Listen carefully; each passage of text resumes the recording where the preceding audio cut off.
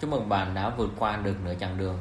Một số thay đổi của mẹ bầu khi bước sang tuần thai thứ 19 đó là các dấu hiệu mang thai xuất hiện nhiều hơn, các ảnh hưởng đến sinh hoạt của mẹ như táo bón, chuột rút, mất ngủ, mệt mỏi, chảy máu cam hay viêm nữ.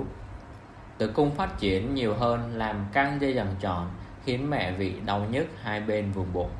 Lời khuyên cho mẹ là hãy luyện tập một số môn thể thao nhẹ nhàng như yoga, đi bộ, các bài tập dưới nước. Sử dụng gối kê chân ban đêm giúp tăng lưu thông cho máu.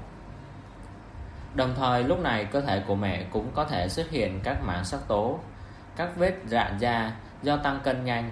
Đây là vấn đề thường gặp khi mang thai.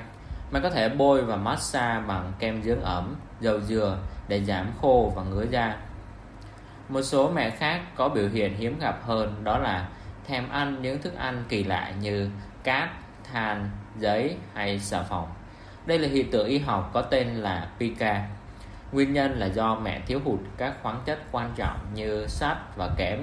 Vì vậy, mẹ hãy xây dựng cho mình một thực đơn đầy đủ chất dinh dưỡng và lành mạnh trong thai kỳ nhé. Và đây cũng là lúc mẹ nên suy nghĩ về việc tham gia các lớp học tiền sản.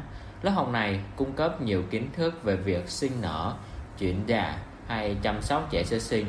Đặc biệt là cần thiết với những mẹ mang thai lần đầu còn bỡ ngỡ.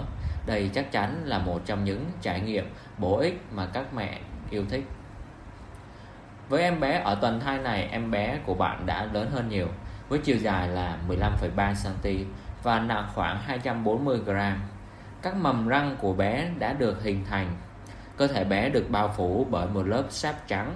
Lớp này có nhiều tác dụng như điều hòa thân nhiệt, dưỡng ẩm cho làn da của bé, tạo ra một lớp chống thấm bảo vệ da bé trong môi trường ối, giúp bé di chuyển qua ống sinh dễ dàng hơn khi sinh thường.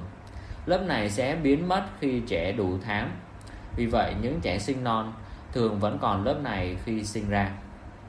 Hy vọng video này đã cung cấp cho mẹ nhiều thông tin cần thiết khi mang thai tuần thứ 19.